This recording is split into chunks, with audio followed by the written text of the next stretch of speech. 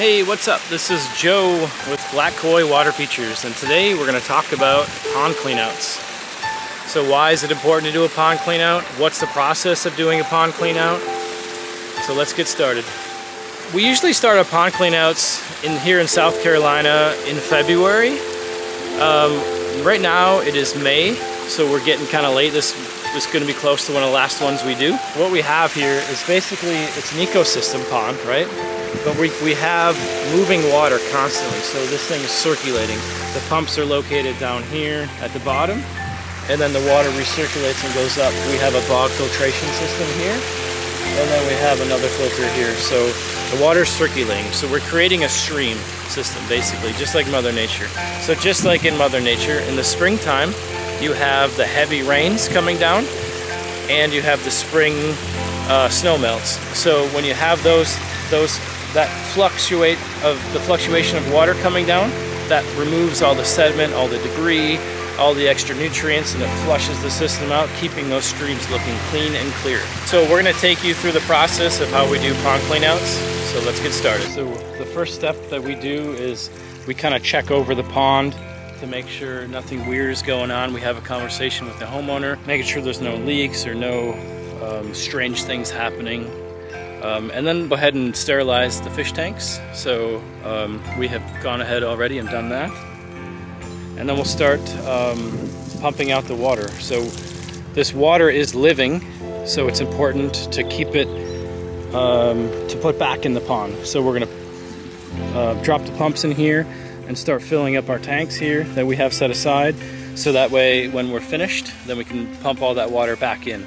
So it's really, really important, especially when you're doing them later um, in the season, that we put as much, if not all of the water back into the system. So that's what we're shooting for today.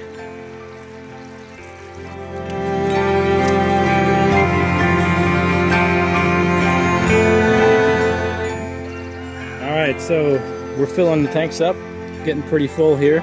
Water's coming out nice and clear, very important step is not to stir up. See, there's the, the water's very clear because we have a bog filter here.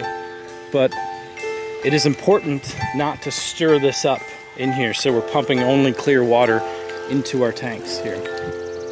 So we're doing a great job of that. So at this phase, we also put in um, all the water treatments necessary.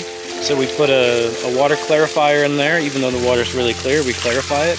We put um, an aquascape protect in there so it reduces the stress levels when transporting the fish and moving the fish around. A lot of times in the spring people call us up and they haven't cleaned their pond in a few years so there's a lot of ammonia, ammonia levels are really high so putting them in there and putting them in the pond water with the protect is really good for the fish in the transportation. Um, it reduces the stress, adds some slime coat, um, and then we detoxify the water. So we, that will take out any harmful minerals, dechlorinate the water.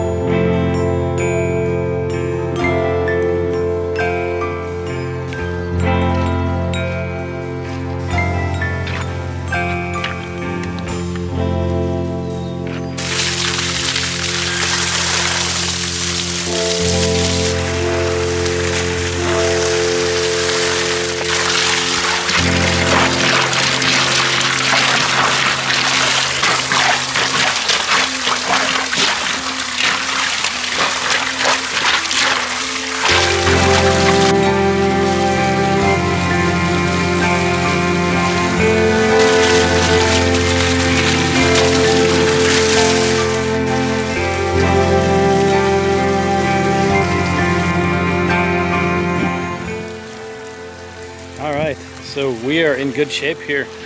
We're just getting getting to the fun part. Getting all that muck and sludge rinsed out of there.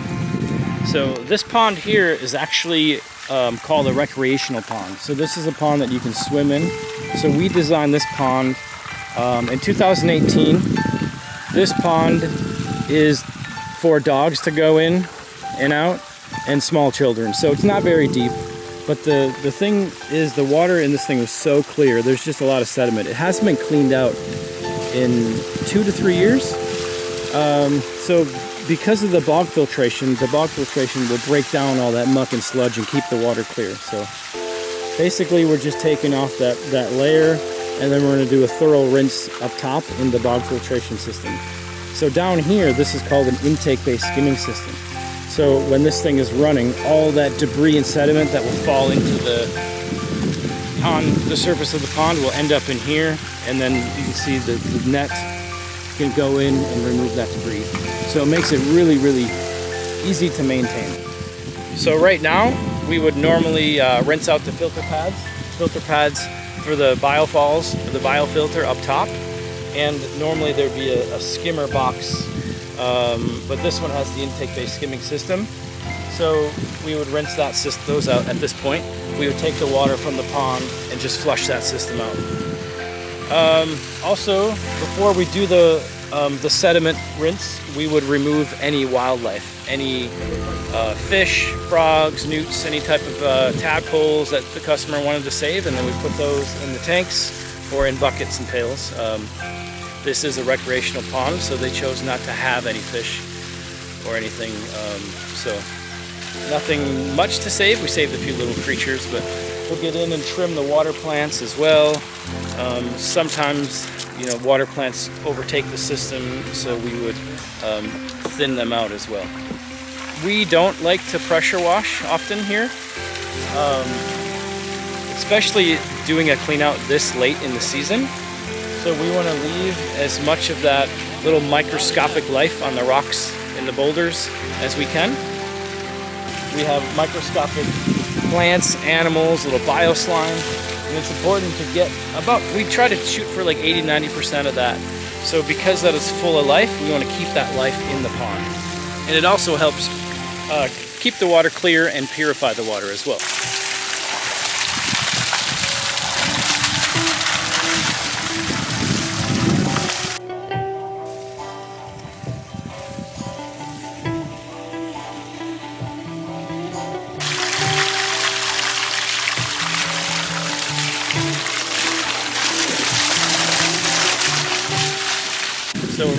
Work of this one. Um, we're just a few hours in and the pond is looking pretty good.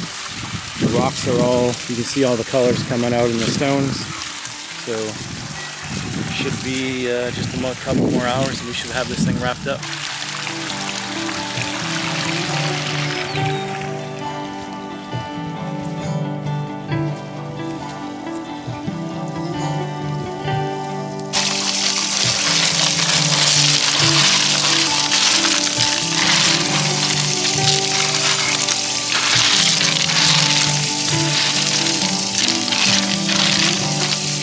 We are on the home stretch here. We've just got a few more, little bit of sediment and debris to remove, mostly just muddy water though. So, um, so yeah, the next step that we got is to remove the last little bit of sediment, and muddy water, and then we're to fill the pond back up.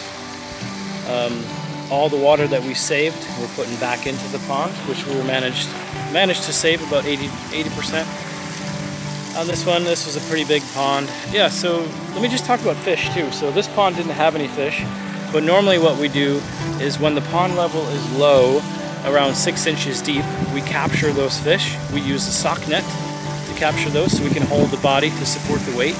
And then within that net also has water. So with the combination of holding the the fish and having the water, we can support the weight of the body so there's no no no issues carrying them. And of course, we stick them in our holding tanks behind me with aeration and the water treatments that we put in.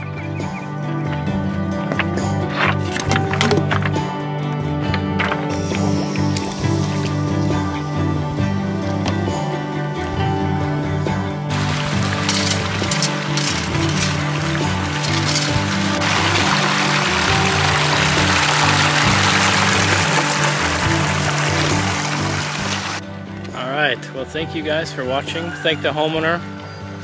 Thank the chicken. Thank the homeowner for having us on the property. Um, I am Joe with Black Koi Water Features. We service and maintain water features in Greenville, South Carolina and in Asheville, North Carolina. If you guys have any questions, please leave a comment. If you need pond service or pond maintenance, give us a call. I appreciate it. Thank you.